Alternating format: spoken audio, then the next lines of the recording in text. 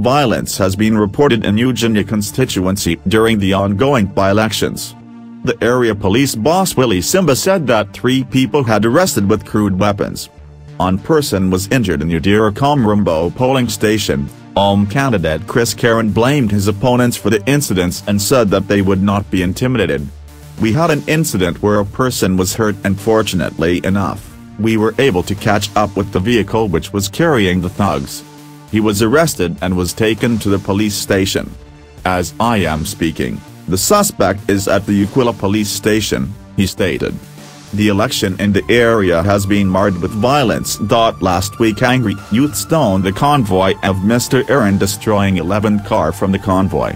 The Epcon police called the candidates to a meeting to warn them against instigating violence, the seat fell vacant after the court nullified the election of David Ochieng of the Movement for Development and Growth.